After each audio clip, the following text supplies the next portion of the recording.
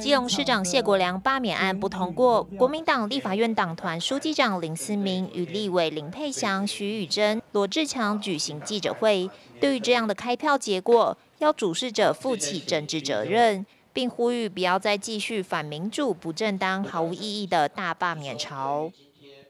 基隆市民用自己手中的神圣选票，挺善良，继续的让我们肯做事。会做事、能做事的谢市长继续来为那个基隆市民来服务。开票结果同意票未达到百分之二十五的门槛，反对票更高于同意票，高达一万六千票，否决了这场没有正当性、劳民又伤财、毫无意义的罢免投票。这是民进党发动仇恨。输不起的罢免，基隆人民用选票来打脸他们，还给我们谢市长赢那个一个公道，也印证了我们善良战胜恶霸，可以说是大快人心。民进党政府想要用罢免来破坏破坏我们民主的豺狼野心呐，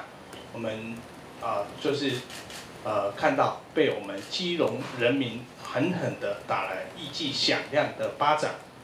我们回顾啊这一次的罢良案，一开始民进党以及他的侧翼攻击团体呢，一直主张说东岸商场的产权啊是有问题的。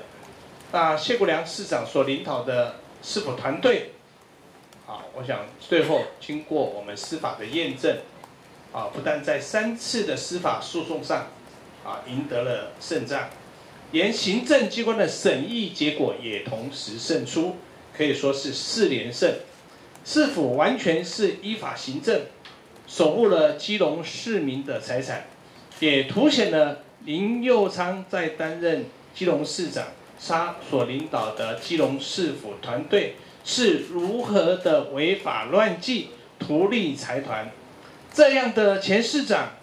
检调机关、监察院要不要好好的查一查？有民进党的议员在范云的直播中，竟然他这样说：“他说，民进党绝对没有参与罢良团体的行动，绝对没有。这些发起罢良的人的年轻人，自己也说自己是小草，支持柯文哲，怎么会是民进党？天哪！”青鸟们，听听这句话吧，你不会觉得心酸，不会觉得心痛吗？整个新闻背景就是意思是，今天罢粮不成功，都是这些嫩草们经验不足啊，青鸟都变成嫩草啦。一个政党没有担当到这种程度，赢了就收割，输了就切割，真是非常擅长刺元刀的伟大的民进党啊！割派政党吗？啊，什么都可以割吗？就像我们的书记长讲的，今天这场罢免，请问各位，最先的始作俑者是谁？都忘了吗？就是萧美琴，就是萧美琴，就是萧美琴，不是别人。当基隆东岸停车场被侵夺侵占的第一时间。连事实都没搞清楚的时候，是谁穿着 NATE 的衣服挺 NATE，然后让引导所有的绿军、网军跟媒体炮轰基隆市政府？是谁穿着 NATE 挺 NATE，引导所有的网军绿媒炮轰基隆市政府？就是你肖美琴呢？我拜托肖美琴，今天你站出来，你要不要今天也穿着 NATE 挺 NATE 一下，给大家看一看？穿着内的挺内的啊！基隆市长谢国良罢免案投票结果，不同意罢免票数八万六千零一十四票，同意罢免票数六万九千九百三十四票，否决罢免。第一件事情呢，在这边要特别感谢所有我们睿智的、所有相挺的基隆市民好朋友，因为有你们，所以这次的恶意罢免，这次的政治斗争，我们挺过来了。然后我跟国良，我们一定会尽全力，一个人在地方，一个人在中央，帮我们基隆市民谋取更多更大的福利。第二件事情呢，我也呼吁一下，会呼吁一下我们那个目前的执政党民进党，罢免一次在基隆花了公帑三千万，明年的大罢免潮如果来，你们是准备花几亿的公帑来去做政治斗争？明年全台台湾将近有五十多个选区，你是不是每一个地方你都要来奉一次罢免？那如果一场罢免就要花公堂三千万，其他的成本都不算的话，